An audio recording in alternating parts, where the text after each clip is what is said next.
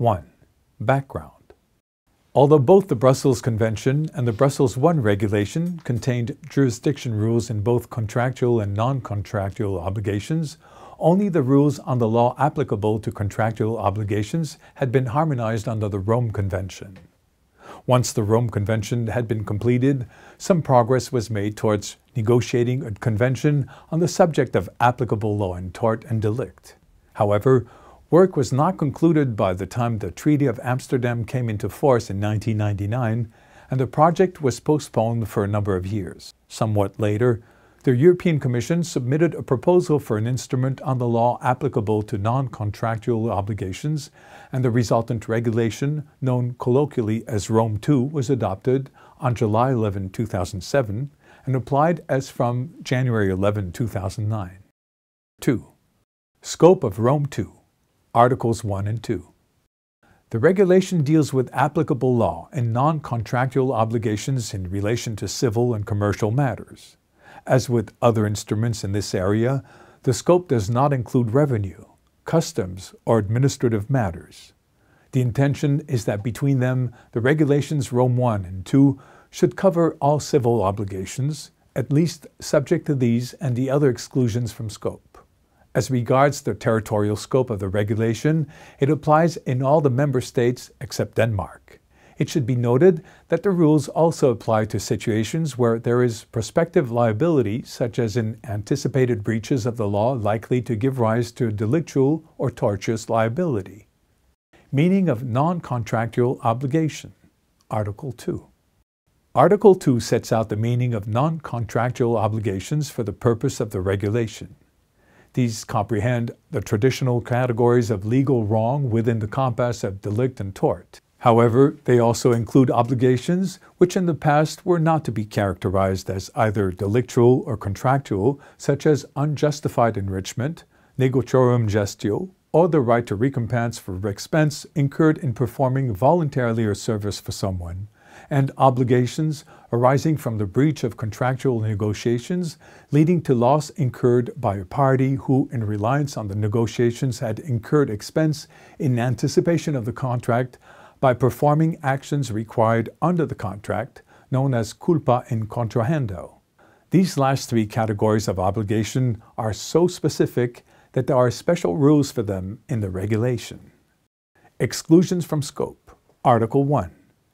Some areas of non-contractual obligations are excluded from the scope of the regulation, such as non-contractual obligations arising out of family or similar relationships, matrimonial property regimes, and trusts in succession. Also excluded are such obligations arising out of various commercial relationships, such as those in relation to bills of exchange and other negotiable instruments and company law matters. The subject of obligations arising out of nuclear damage is also excluded as it is dealt with under broader international conventions and is in itself very controversial for certain member states.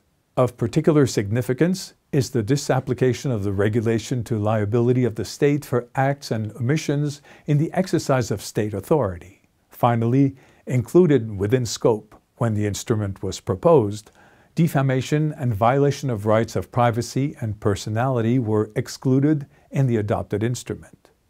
3. Scope of the law applicable. Article 15.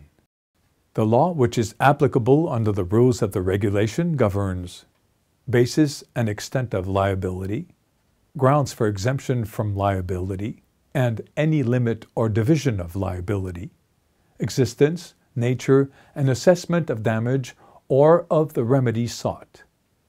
Measures which a court can take to prevent or terminate injury or damage. Transfer of a right to compensation for damage including by inheritance. The persons who are entitled to compensation for damage sustained personally. Vicarious liability for the acts of another person and extinction of an obligation by prescription and the limitation of actions and interruption of periods of prescription and limitation. 4. Other provisions as regards applicable law and non-contractual obligations.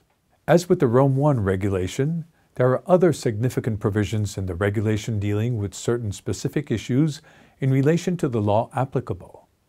These include also an article about the mandatory rules of the law of the forum, dealing with the cases which are to be given effect irrespective of the law otherwise applicable.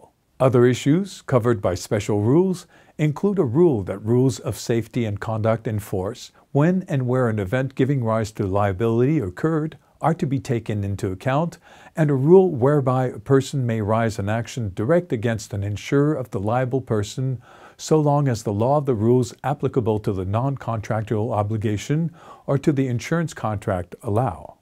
There are rules applicable to subrogation, multiple liability, and as to the formal validity of an act related to a non contractual obligation. Finally, there are rules about the burden of proof, the place of habitual residence of legal persons and individuals acting in the course of a business, the exclusion of the application of renvoi as regards the rules of private international law of any country whose law is applicable under the regulation, the application of the regulation as regards states with more than one legal system, and the relations with other provisions in EU law and some international conventions.